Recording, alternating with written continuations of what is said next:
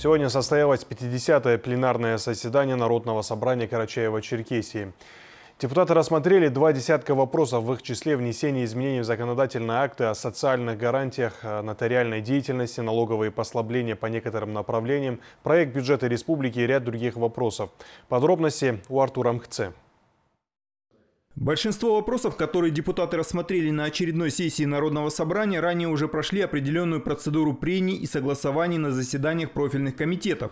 Так, один из наиболее, пожалуй, интересных касался законопроекта, в котором отражены поручения главы Карачаева-Черкесии Рашида Тимрезова парламенту и правительству в сфере здравоохранения и социальной политики.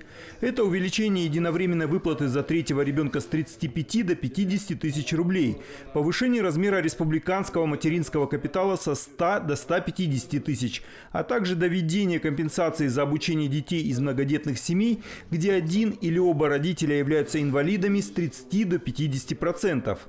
Мы с коллегами с, Министерства труда и социального развития разработали законопроект, в котором отражены были поручения главы Карачаево-Черкесской республики Ражда Барспевича Темрезова, в частности, о поддержке отдельных социальных групп.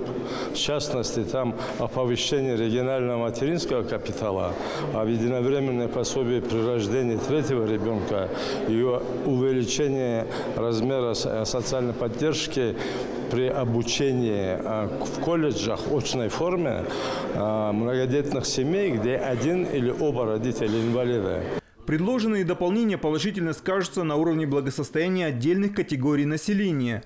Несколько рассматриваемых депутатами вопросов касались финансовой составляющей. В частности, первого чтения бюджета республики, исполнения расходов, налоговых послаблений по некоторым видам деятельности. Год в первую очередь, конечно, призваны помочь нашим предпринимателям.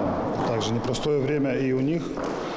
А здесь у нас идет, во-первых, поддержка, а, а такие основные новеллы – это поддержка туристической деятельности, э, кто имеет места временного проживания, соответственно, для них снижена ставка, и для всем известных наших э, предпринимателей, которые производят текстильную продукцию.